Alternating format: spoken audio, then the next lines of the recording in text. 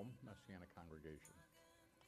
Here we have Jews and Gentiles worshiping together because we're in agreement on the, uh, that we are a two testament congregation. That means we believe in the Old Covenant, uh, known to the Jewish people as the Tanakh, uh, and, uh, and, the new and the New Covenant, known as the Brit Hadashah. For a long time, they were thought of as two separate books with two separate messages. However, people who, in, who investigate uh, will find that there are no new concepts, no, none, zero. There are no new concepts in the New Testament. Every precept is mentioned somewhere in the Old Testament. As a matter of fact, it, is primar- it was primarily written to tell what happened, but it also is a commentary on the Old Testament to explain the Old Testament. So if you read the, if you read the Old Testament uh, for its uh, history, that's that's very educational to know to know the history of what took place and uh, why are there Jewish people here? How do we get here, et cetera, et cetera? How how, how, did, how did this religion, Christianity, get started? That's all very educational.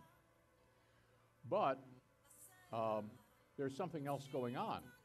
There are spiritual issues. You see, in the Old Testament, it also speaks about that there is an eternal world out there. It's out in an invisible realm. And, and there are certain dynamics as to how it works. Now, these are very mysterious, very mysterious. And so uh, a lot of people just don't want to know about it because it's like, how can you possibly know the answer? Well, those people who have taken the time to consider uh, the messiahship of Yeshua, Jesus or Jesus Christ, Yeshua HaMashiach. Yeshua equals Jesus. The meaning of that word is salvation. He is salvation. And when it says Christ, uh, Christ or a Christian that's of, of Christ, messianic means of Messiah. What does Christ mean? It means the anointed one. Okay? That's what messianic means, the anointed one. So, so as a believer, I am one with the anointed one. So that's why we meet together.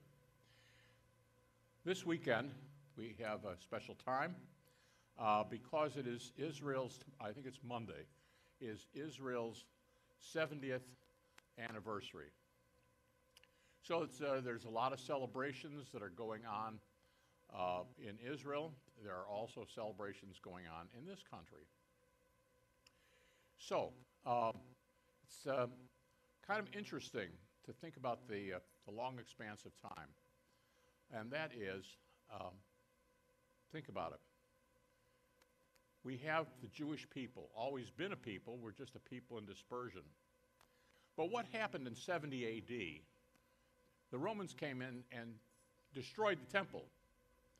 Daniel says whoever the Messiah is going to be has to be born before the destruction of the second temple. So that happened. When that occurred, it, the rabbi said, What can we do? The, our whole sacrificial system doesn't work anymore. We, we, what are we going to do? We have a sin problem, and, and, and how do we make atonement? And of course, the believers in Yeshua said, Well, listen, that's all been fulfilled. But the rabbis really couldn't accept that, so they went off and, and uh, codified a lot of regulations of what to do until the temple could be rebuilt. And that became rabbinical Judaism in a sense, biblical Judaism died. Biblical Judaism died and was replaced by rabbinical Judaism, the Talmud, the Mishnah, etc. So biblical Judaism died and was replaced by rabbinical Judaism because they thought it would be 5, 10, 20 years until there was a new temple. But it, here's so over a period of many centuries, rabbinical Judaism killed off biblical Judaism. And that went on for a couple of thousand years. Hmm?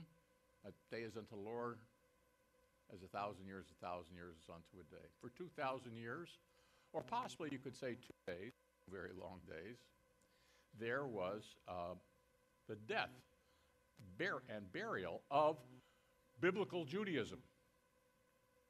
Spiritually, Jewish people, in a sense, died. Our spiritual connection died. We were into rabbinism, man made rules. And now what happened? In 1948, something happened with the Jewish people. Israel is kind of a resurrection of the Jewish people.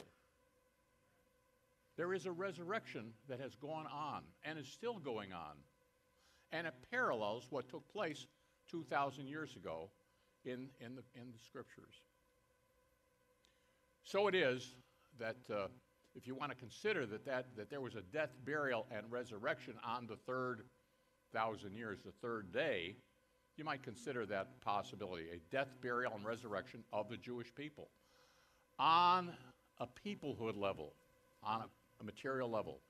But as we're fond of saying here, things that happen on the material level have a spiritual counterpart.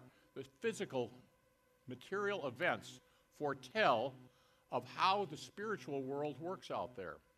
So in 1948 culminated into an actual beginning of a resurrection of the Jewish people.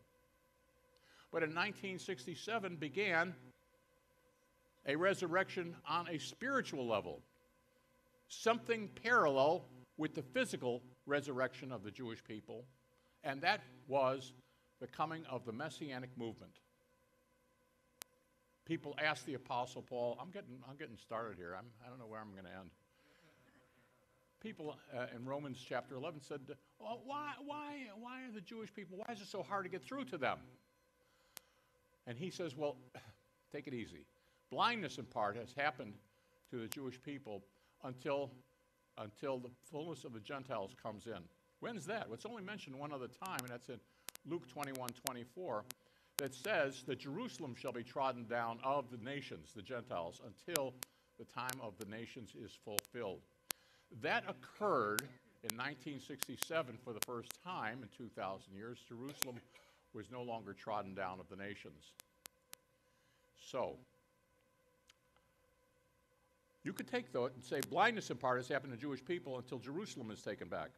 Or you could say blindness in, in part has happened to the Jewish people until 1967. And that is commonly thought of as the beginning date of the spiritual resurrection of the Jewish people that parallels the physical resurrection of the land of Israel, the real estate. And that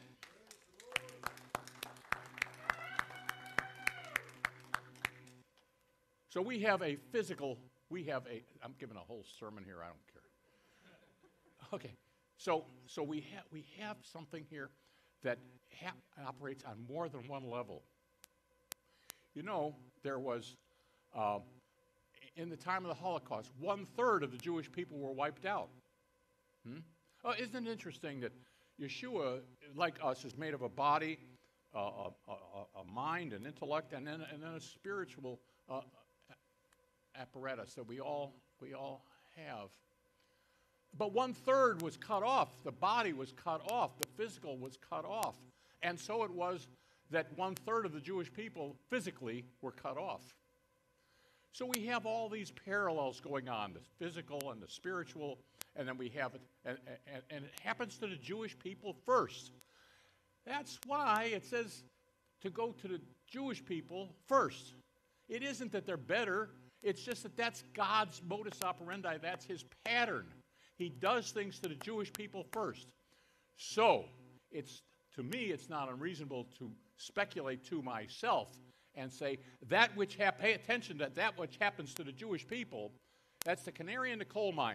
What happens to the Jewish people is eventually going to happen to the world at large. Huh? So what's going to happen is, if we take a look at what happened to the Jewish people, first on a physical level, then on a spiritual level, would it be unreasonable to speculate that that's what's going to happen to the world at large? One third of the trees are going to get cut off. One third of the water is going to get cut off. One third of everything's going to get cut off physically. Huh? And there's going to be a worldwide Holocaust, a tragedy. But out of the tragedy will come newness of life as it happened, as it happened to Yeshua, as it happened to Israel. That's going to happen. There will be calamity on the face of the earth, but out of it, out of it will come a new heaven and a new earth, a whole new setup. Huh? And that's and that so let's pay attention to what happens to Israel. That's what's going to happen for the world at large.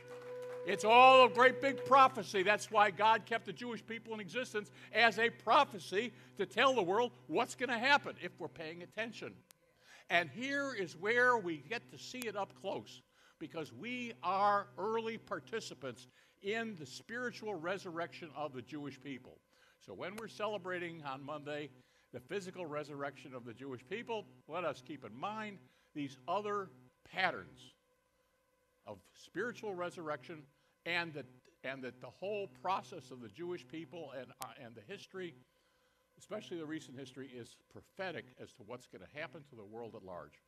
That's a long welcome. It's a long welcome. I tell you, I, I it, it, seems so clear and so obvious. And you say, why wouldn't everybody want to know of these, of these possibilities, these things? You know why? Because it, it's, it's inconvenient to get up on Saturday morning. So, but, but to us, we find these things very interesting. Very interesting because we feel like we're in on a ground floor operation of something meaningful that's happening in our lifetimes. We're in the middle of the middle of a ground floor operation. Okay, enough. Enough. Let's uh, call.